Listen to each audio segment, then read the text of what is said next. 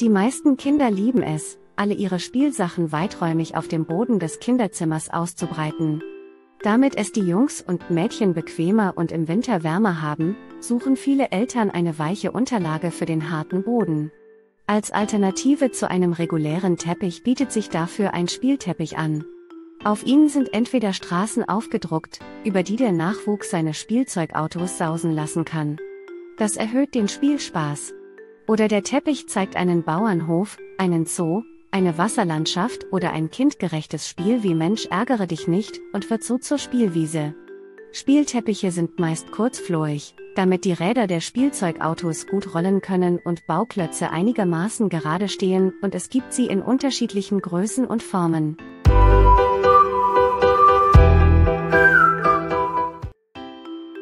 Das erste Produkt auf unserer Liste ist House of Kids Bauernhof Spielteppich. Der House of Kids Bauernhof Spielteppich ist 130 x 180 cm groß, auf der Oberseite ist eine Farmregion aufgedruckt, die diverse Wirtschaftsgebäude wie einen Tierstall und einen Heuschuppen zeigt. Die Oberfläche soll weich sein, um den Kindern ein komfortables und bequemes Spielen zu ermöglichen. Der Spielteppich hat Straßen, die bis zum Rand reichen. Bei Bedarf lässt sich der Straßenteppich mit einer zweiten Unterlage des Herstellers erweitern, weil die Straßenanordnung ein Zusammenfügen erlaubt. Die Oberfläche des Spielteppichs besteht aus Polyester, das nach Herstellerangaben sehr weich ist. Die Unterseite ist mit Gumminoppen versehen, die für einen Anti-Rutsch-Effekt sorgen sollen. House of Kids zufolge ist das Produkt gut geeignet, um es auf einem empfindlichen Boden mit Fußbodenheizung zu verwenden. Was ist Polyester? Polyester ist eine synthetische Kunstfaser, die auf einem Kunststoff aufbaut. PET-Flaschen, Laminierfolien oder einige Harze bestehen aus Polyester. Der Stoff ist oft wasserfest, hat eine gute Flexibilität und ist aufgrund der Kunstfasern strapazierfähig. Polyester kommt oft für Spielteppiche zum Einsatz, weil das Material scheuerbeständig, pflegeleicht und preiswert ist. Das zweite Produkt ist Hevo Stadt Mix Spielteppich. Die Spielfläche des Hevo-Stadt Mix Spielteppichs ist 145 x 200 cm groß und zeigt eine Stadt mit Gebäuden und Straßen für einen erhöhten Spielspaß. Das Modell ist auch in anderen Größen und Formen erhältlich. Der Teppich besteht aus Polyamid und soll strapazierfähig und schalldämmend sein. Fein gekettelte Ränder sorgen laut Hevo für einen sauberen Abschluss und verhindern ein Ausfransen des Teppichs. Der Stadtmix-Spielteppich ist nach Herstellerangaben lichtecht. Das heißt, das Material bleicht auch bei starker Sonneneinstrahlung nicht aus. Das ermöglicht eine Verwendung im Freien. Darüber hinaus ist der Teppich laut Hersteller antistatisch und lädt sich nicht auf. Auf der Unterseite ist der Kinderspielteppich aus dem Vergleich mit einem Prägerücken ausgestattet, der eine Anti-Rutschwirkung haben und den Boden schonen soll. Der Teppich eignet sich für Räume mit Fußbodenheizung und für empfindliche Böden. Der pflegeleichte Teppich ist schadstoffgeprüft, er weist ein Gutsiegel und das Zertifikat von Standard 100 bei Ökotex auf. Was ist der Standard 100 bei Ökotex? Das ist ein einheitliches Prüf- und Zertifizierungssystem. Produkte werden von Experten auf Schadstoffe wie Pestizide oder krebsauslösende Farbstoffe geprüft. Liegt der Schadstoffgehalt unter den Grenzwerten, erhält das Produkt das Zertifikat. Es gibt vier Produktklassen, in denen die Tester beispielsweise zwischen Produkten für Babys und hautfernen Materialien unterscheiden. Der nächste Produkt in unserer Liste ist Primaflor Big City Spielteppich. Der Primaflor Big City Spielteppich ist 140 x 200 cm groß und 5 mm dick, er ist aus Polyamid hergestellt und soll antistatisch sein. Die Oberfläche ist dem Hersteller zufolge unempfindlich und pflegeleicht, Flecken und Schmutz sind abwischbar. Was ist Polyamid? Polyamide oder PA sind thermoplastische Kunststoffe, die sich bei hohen Temperaturen verformen lassen. Weil die Moleküle der Polyamide wie Ketten aufgebaut sind, hat das Material eine hohe Festigkeit und Zähigkeit. Deshalb kommt es oft als Konstruktionswerkstoff zum Einsatz. Weitere positive Eigenschaften sind die Beständigkeit gegenüber chemischen Mitteln, eine hohe Strap-Asierfähigkeit und Belastbarkeit. Typische Polyamidfasern sind Nylon oder Perlon. Dank der kurzflorigen Oberfläche können Spielzeugautos laut Hersteller gut auf dem Teppich fahren, ohne dass die Räder durchdrehen oder die Fahrzeuge stecken bleiben. Der Autoteppich dient auch als Kälteschutz auf kalten Böden. Eine Verwendung auf einem Untergrund mit Fußbodenheizung ist laut Hersteller ebenfalls möglich. Der Rücken des Teppichs besteht aus Textil und ist wenig rutschfest, weshalb der Hersteller zu einer Unterlage rät. Der Spielteppich von Primaflor zeigt eine große Stadt mit Gebäuden und Straßen, dazu gehören auch Details wie Kreisverkehre, Zebrastreifen, Grünanlagen oder U-Bahn-Stationen. Das Design soll die Kinder zum Spielen animieren und die kindliche Fantasie anregen. Kinder können spielerisch erste Verkehrsregeln lernen. Der nächste Produkt in unserer Liste ist Jimenue Spielteppich. Der Jimenue Spielteppich hat keinen Motivaufdruck, sondern ist in vielen unterschiedlichen Farben erhältlich. Der Teppich besteht aus Quadraten mit einer Größe von 30 x 30 cm, die zusammengesetzt und beliebig erweitert werden können. Der Lieferumfang umfasst 20 Quadrate. Die Quadrate sind einen Zentimeter dick und ergeben zusammengesetzt einen Teppich mit einer Größe von 142 x 114 cm. Vielseitig einsetzbar, der Spielteppich von Yeminue ist geeignet als Krabbelunterlage für Babys und kann größere Kinder beim Spielen auf dem Boden vor Kälte schützen. Darüber hinaus lässt er sich von Erwachsenen beispielsweise als Yogamatte nutzen. Der Spielteppich besteht aus EVA-Kunststoff und ist BPA-frei, PHTHALAT-frei und bleifrei. Dem Hersteller zufolge sind die Matten weich und widerstandsfähig. Sie erfüllen die in den USA und Europa geforderten Sicherheitsstandards. Was ist EVA? EVA oder EVAC ist die Abkürzung für Ethylenvinylacetatcopolymer. Der Kunststoff enthält keine Weichmacher und gilt als ungiftig und unbedenklich. Der nächste Produkt in unserer Liste ist Snapstyle Little Village Spielteppich. Der Snapstyle Little Village Spielteppich ist in vielen unterschiedlichen Größen, wie 80 x 200 cm oder 400 x 400 cm, erhältlich. Das Modell ist 4 mm dick. Es zeigt ein kleines Dorf mit Häusern und Straßen. Details wie ein Fluss, Parkplätze, eine Kirche oder ein Krankenhaus wollen die Kinder zum Spielen animieren. Der Spielteppich aus dem Vergleich hat eine weiche Unterseite aus Vlies, die empfindliche Böden wie Parkett oder Laminat schonen soll. Die Verwendung auf einem Untergrund mit Fußbodenheizung ist möglich.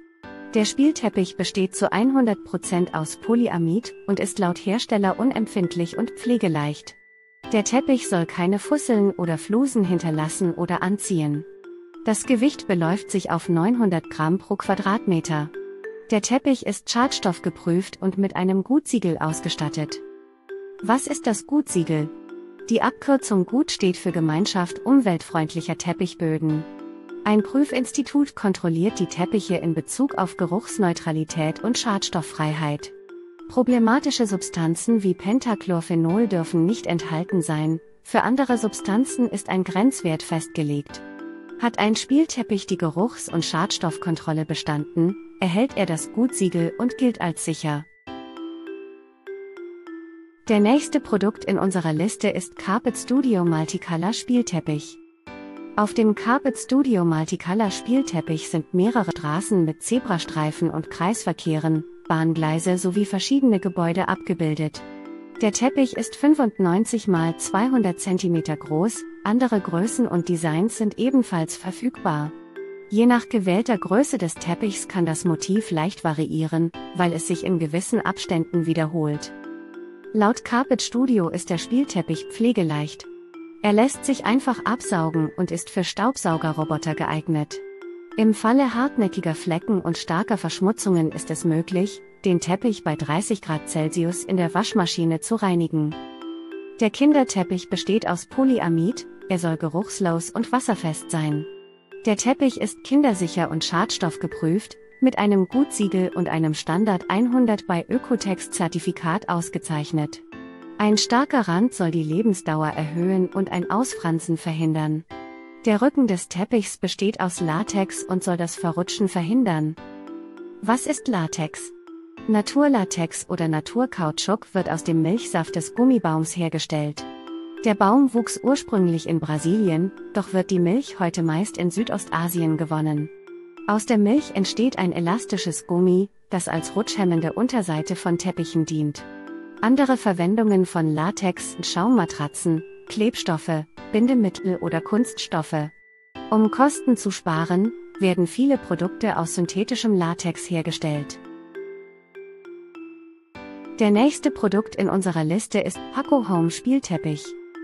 Der Paco Home Spielteppich kann in verschiedenen Formen und Größen gekauft werden. Der Straßenteppich besteht zu 100% aus Polyester, was dem Hersteller zufolge die Reinigung vereinfacht und ein Befahren oder Bespielen mit Spielzeugautos ermöglicht. Der Spielteppich zeigt einen Straßenzug in der Stadt. Es sind einige Häuser zu sehen, Verkehrszeichen und Fahrzeuge. Zudem gibt es Bäume und vereinzelt Blumen und Gräser. Der Kinderteppich soll pflegeleicht, robust und strapazierfähig sein. Er entspricht dem Standard 100 bei Ökotex. Dem Hersteller zufolge schont er mit den weichen Fasern die Hände und Beine beim Spielen. Der Rücken des Teppichs ist rutschfest, damit die Kinder beim Begehen nicht hinfallen. Paco Home rät, für eine höhere Sicherheit eine zusätzliche Anti-Rutschmatte unterzulegen. Für guten Komfort und ein geringes Verletzungsrisiko sollte ein Spielteppich eine gewisse Höhe und eine rutschhemmende Unterseite haben. Fällt das Kind hin oder kniet es lange auf dem Teppich, kann ein etwas höherer Flor den Körper schonen oder den Sturz dämpfen. Damit der Teppich nicht wegrutscht, ist ein rutschhemmender Rücken mit Gumminoppen oder Latex ratsam. Alternativ sollten die Eltern eine Matte darunter legen, die das Verrutschen des Teppichs verhindert. Der nächste Produkt in unserer Liste ist Möbinex Duoplay Spielteppich. Der Möbinex Duoplay Kinderspielteppich ist 100 x 190 cm groß und 5 mm hoch, er besteht aus Polyester und hat ein Gewicht von 1250 Gramm pro Quadratmeter. Zur Reinigung empfiehlt der Hersteller, den Kinderteppich mit einem Staubsauger von Schmutz zu befreien. Bei hartnäckigen Flecken ist eine Säuberung mit Teppichschaum möglich. Als Motiv kann entweder City oder Farm ausgewählt werden. Der Spielteppich ist ein Wendemodell mit zwei bespielbaren Seiten. Auf einer Seite ist eine große Stadt abgebildet, die verschiedene Details wie Bankgebäude, Kreisverkehre, Baustellen oder Parks zeigt.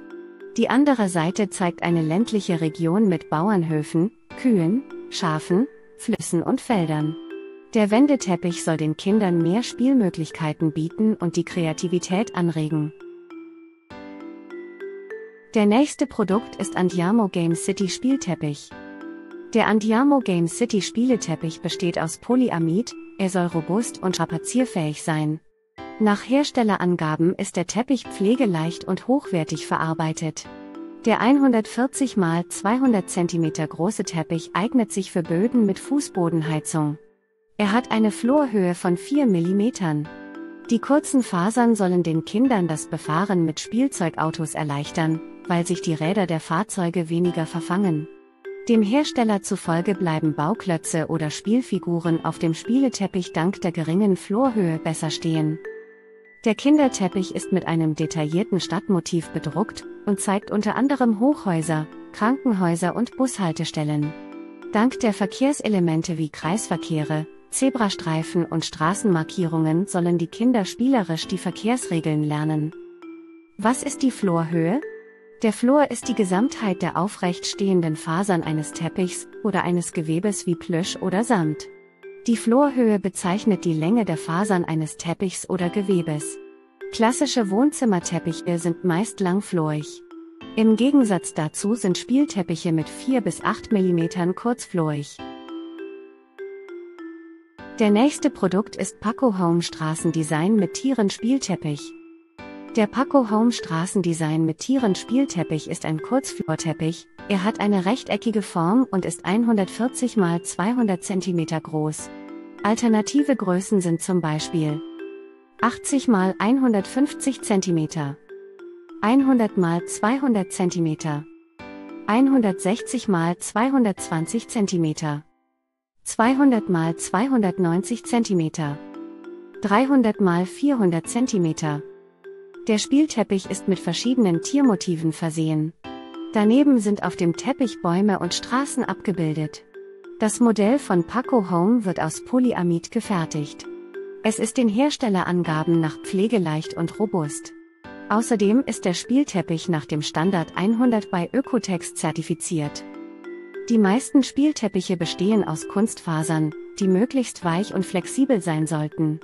Manche Teppiche für Kinder enthalten gesundheitsgefährdende Weichmacher, die den menschlichen Hormonhaushalt stören und die Entwicklung verzögern können. Weitere problematische Stoffe wie allergieauslösende Aufheller oder krebserregende Kohlenwasserstoffe können ebenfalls enthalten sein.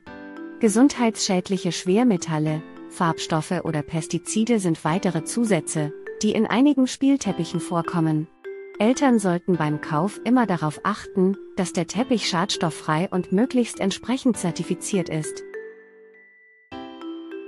Der nächste Produkt ist Stillcool Bauernhof Spielteppich. Product Description. 100% Brand New. Color Multicolored. Size 200 x 180 cm and 5 mm thick.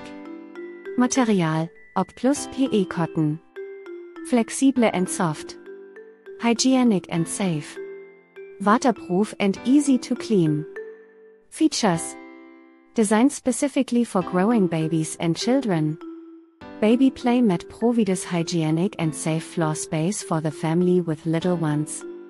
Babies and children can play safely on the floor, with stimulating and vibrant colors. Science and educational elements such as letters, fruits and numbers. This play mat is an essential part of the safe growth and development of your baby and toddler. Perfect for reducing noise and impact and providing good insulation on all floor surfaces. It protects children from hard floor coverings and protects the wrists and knees from possible bumps and injuries caused by crawling, getting up and falls.